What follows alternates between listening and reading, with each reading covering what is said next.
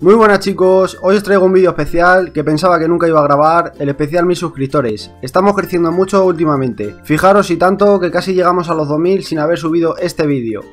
Todo es gracias a vuestro apoyo, si vosotros no hubiéramos llegado hasta aquí, que ya me parece mucho. Bueno, mi idea para este especial es que me conozcáis un poco más sobre nuestro deporte, el fútbol, mis gustos, siempre desde el respeto, porque seguro que alguna respuesta no os gusta porque seáis hincha de diferente club, pero mi intención no es molestar a nadie, ¿vale? Solo como digo, que sepáis un poco más de mí futbolísticamente. Bueno, la cosa es que tenía por ahí un challenge de 30 preguntas y os las voy a responder todas.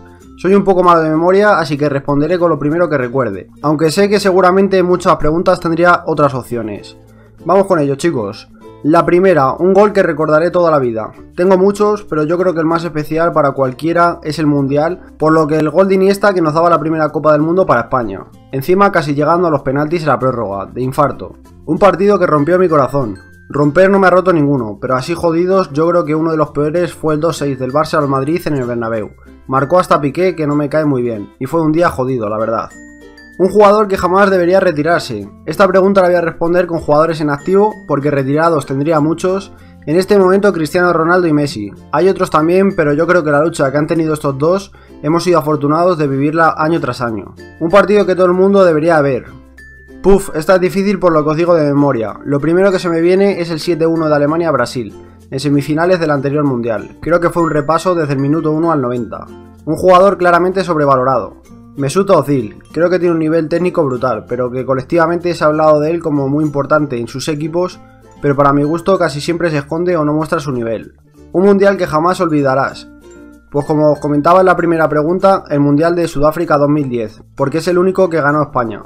El equipo por el que te gustaría fichar. Soy del Real Madrid por lo que ese era mi sueño de pequeño. Pensando en fuera de España, me gustaría experimentar el aliento de las hinchadas de Argentina o México entre otros países. Creo que ese ambiente es difícil de ver en España, salvo en alguna afición. Un gesto técnico en el que te gustaría ser experto. Mm, eh, no lo sé la verdad, esta pregunta me da un poco igual. Un jugador del que te gustaría recibir consejo. De Cristiano Ronaldo. Fue mi ídolo desde muy joven y lo que ha trabajado para llegar a ser lo que es está al alcance de muy pocos. El equipo que odiaré toda mi vida. Odiar a ninguno, pero sí que nuestro rival siempre fue el Barcelona. De la ciudad el Atlético Madrid, pero siempre deportivamente. Una norma que debería cambiarse, pues así pensando a bote pronto engañar al árbitro, debería poder expulsarse a esos jugadores varios partidos para que no lo volvieran a hacer. Un jugador que se equivocó siendo futbolista.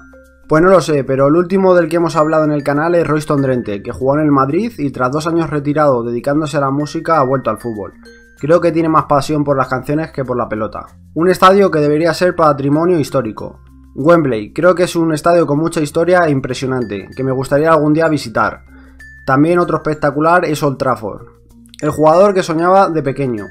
Antes de Cristiano fue muy friki fan de Raúl González y Casillas. El equipo que admiras en secreto, pues admirar yo creo que ninguno. Cada temporada puede gustarme algún equipo diferente por plantilla y lo suelo seguir, pero nombre por uno en concreto no. Un gol que te hubiera gustado marcar, muchos, pero por importancia el de Ramos de cabeza en la final de la Champions que nos daba la prórroga y su consecuente remontada a la prórroga.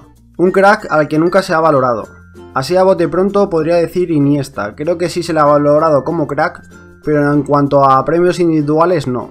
Un entrenador al que jamás entenderás. Nunca me gustó Guardiola, su método no encaja con mis ideas sobre el fútbol, tampoco Mourinho.